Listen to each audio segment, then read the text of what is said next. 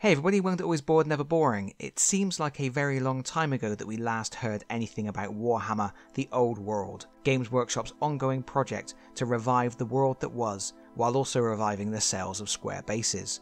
But on the 21st of July, they shared some updates and answered some burning questions. By which I mean hotly debated questions, not questions with answers that caused people to set fire to their miniatures collections. The update itself is a little light on information as you might expect as the game is still some way off, but they have revealed more details of the map. They previously showed off areas of Bretonnia, and now they have added the region of Kislev. These map details make it clear that the game's setting covers a period of time that precedes that of the setting previously explored in Warhammer Fantasy Battle, and the update confirms that the game takes place several hundred years before the end times. Using this period of time means we are going to see a very different sort of world, and Kislev itself is shown to be a huge area, while the Empire is fractured with many factions involved in a civil war without a single ruler to unite them all. It will be interesting to see how the use of this period of time impacts on the various factions, and also how it shapes the greater narrative. Games Workshop have intimated the setting places us on the brink of the Great War against Chaos, which was a generally bad time for Kislev and the Empire, and that means the colleges of magic won't even be a thing in this game, at least not straight away. Moving on, before we get to the confirmed information, there were a few other teasers in the update for what kind of races and miniatures we might get to see. When talking about the borders of Kislev, there was mention of places haunted by centaurs, hobgoblins, and half orcs and of course, Kislev are always having to deal with invading Norscan tribes. Right, let's get to those burning questions. First up, the game will definitely use square bases, I think most of us knew that, and concerns about a change to a different scale are unfounded.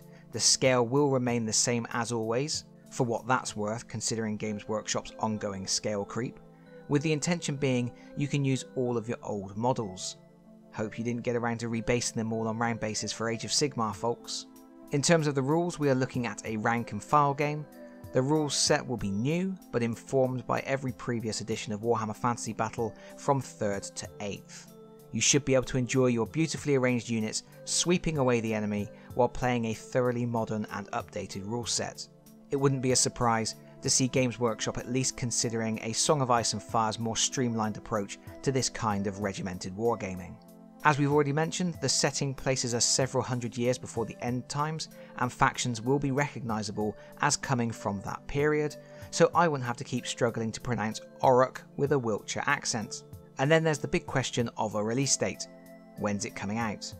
The answer is a big old shrug. Games Workshop are saying it's going to be quite some time yet, and while that doesn't always mean a lot for them, as their production schedules are so tight and fast moving, in this case, I think we can accept on face value that we won't be playing this game until at least next year. I'm calling it now. It's going to be 23rd of June 2022 because that's the date hinted at on the calendar in the subheader of the update article. And yes, I know that's a Thursday.